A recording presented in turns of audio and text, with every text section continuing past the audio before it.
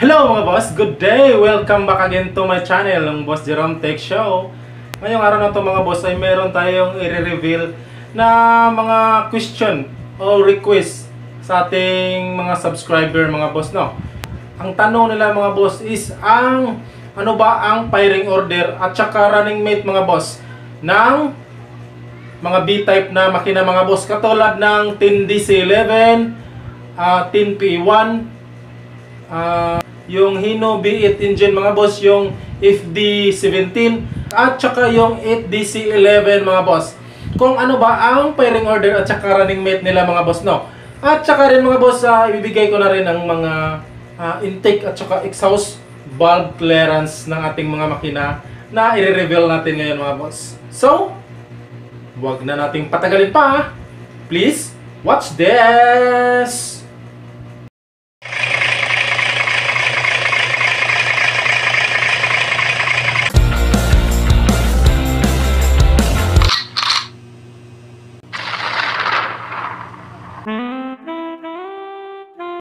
Mga boss, ang video pa na to ay request sa atin ng ating matalik na subscriber na sina Permos Hefolate at saka Jeff Angeles mga boss.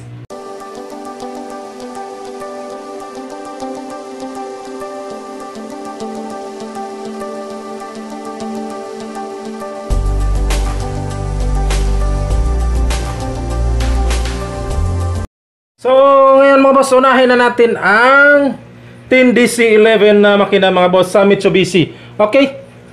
10DC11 Mitsubishi Mitsubishi BT na engine to mga boss ha. So, ang kanyang firing order mga boss is uh, 1 2 7 8 5 6 4 3 9 at saka 10 mga boss. So, uh, kuwanto mga boss ha? Uh, kailangan nakaharap ka sa makina nito mga boss.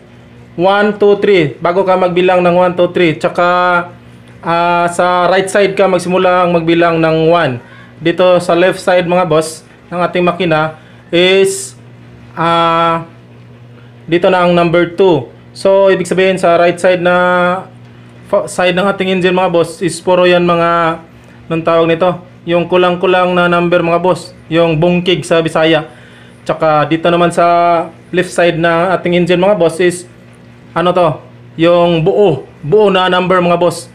So dito sa kaliwa buo na number. 2 uh, 4 6 8 10 yan ang numero dito sa kaliwa mga boss. Okay? Then, ang running mate nito mga boss, RM. So, RM is also running mate. Meron tayong uh, 1, 6, tsaka 2, 4, yan. Then, 7, 3, then, 8, 9, at tsaka 510. Okay? Then, punta tayo sa valve clearance niya mga boss. Valve clearance tayo. Valve clearance. At cold to mga boss ah. Yung malamig ang ating makina. Okay? Valve clearance at cold. Ayan. Sa inlet tayo mga boss. Yan. Inlet or inlet valve or uh, intake valve. Parehas lang yan mga boss. 0.40 mm. So, convert natin to sa inches mga boss. Nandito to 0.16 thousandths of an inch mga boss. Okay? So, nandito tayo ngayon sa kanyang exhaust. Clearance mga boss. Exhaust. So, nasa 0.60 mm. Okay? Convert natin sa 0.024 inches. Thousand of an inch sa inches mga boss. Yan! Kuha niyo mga boss? Ito ang ating sa 10DC11 Mitsubishi B10 na makina mga boss.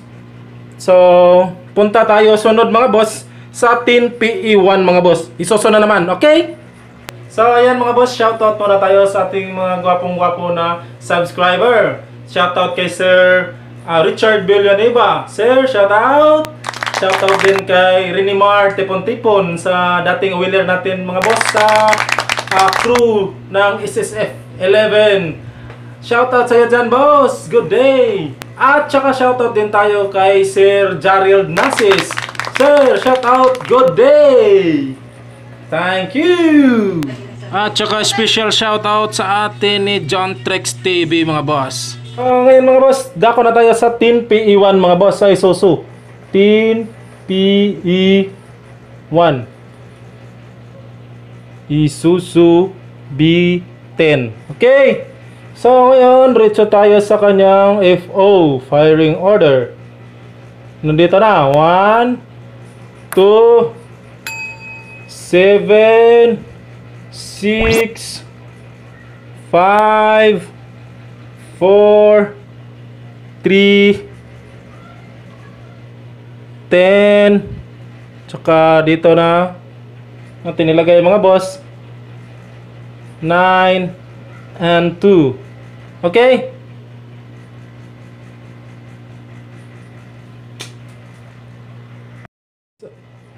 At ngayon, punta tayo sa kanyang FO or firing order mga boss.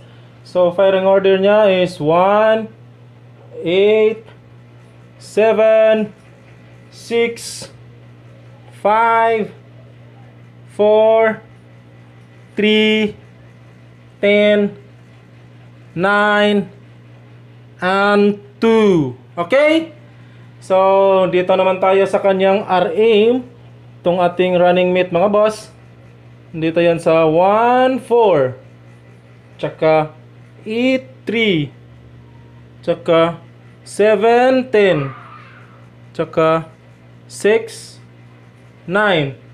And 5 and 2. Okay? Then, dito tayo sa kanyang uh, bulb blast adjustment mga boss or bulb clearance. So, bulb clearance at cold. Yan. So, inlet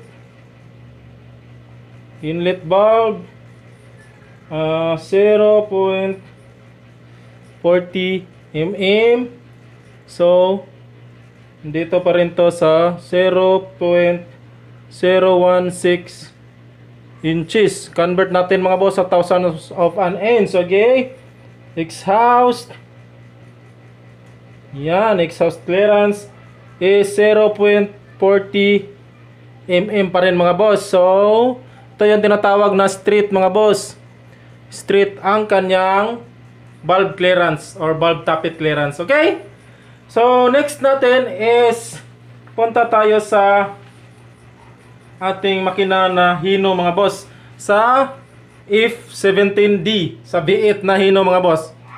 Mga boss, kung gusto mo ng ganitong mga content ay huwag kalimutang mag-subscribe at i-hit ang notification bell para palagi kang updated sa mga bago kong videos na i-upload mga boss. Thank you! So, dito tayo sa uh, F17D Hino engine mga boss. B8 okay. So ngayon ang kanyang running mate if if O is 1, 8, 4, 2, 7, 3, 6, at saka 5, 2, 4, 6, 8. Okay? Ngayon, ang kanyang running mate, RM. Yan. Is 1, 7, 8, 3. 4, 6, 2, 5. Yan. Ngayon, dako tayo sa kanyang valve clearance adjustment mga boss.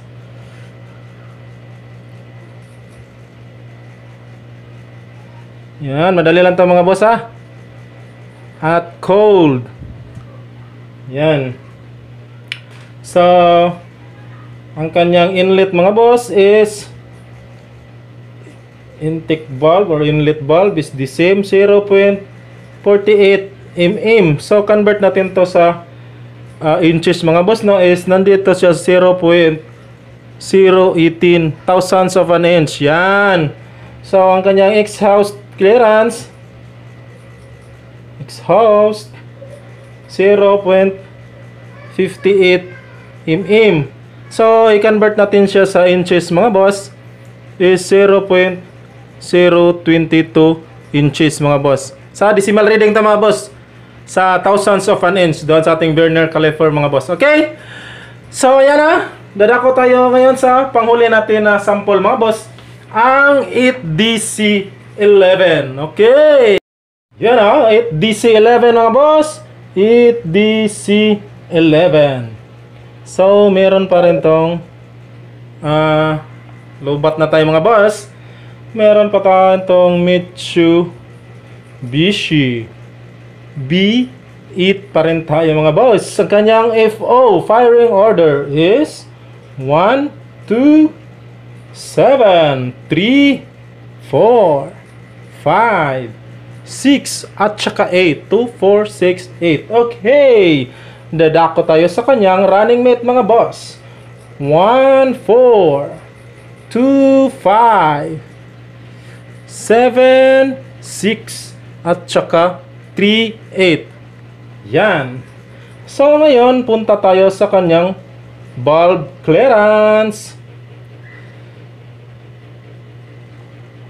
So kung gusto nyo rin panoorin yung isa kong video mga boss tungkol sa paano mahanap ang running mate ng street engine at saka B-type engine mga boss kung paano mo makuha ang kanyang running mate. Nandoon na yung nakapaloob mga boss ang mga diskarte mga boss na. So pwede nyo yung puntahan. Ilagay ko sa description box ang link. So inlet niya mga boss is 0.40 mm.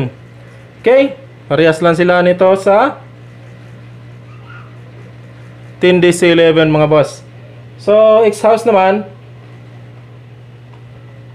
yan 0.60 mm. So nasa inches to is 0.024 thousandths of an inch.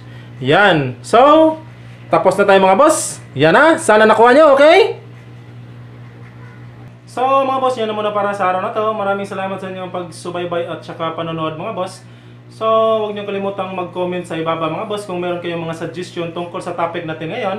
At paki-click na rin ng subscribe button at saka notification bell kung gusto mong ah, ma-updated sa mga bago kong videos na i-upload mga boss. Tsaka huwag nyo na rin kalimutang i-share ang video na to mga boss para mas marami ang nakakaalam. Kasi nga, share your blessing lang tayo, no? Kung ano mga knowledge natin is isi-share natin sa iba mga boss. Okay? So, maraming salamat sa panonood. God bless and mabuhay. Thank you.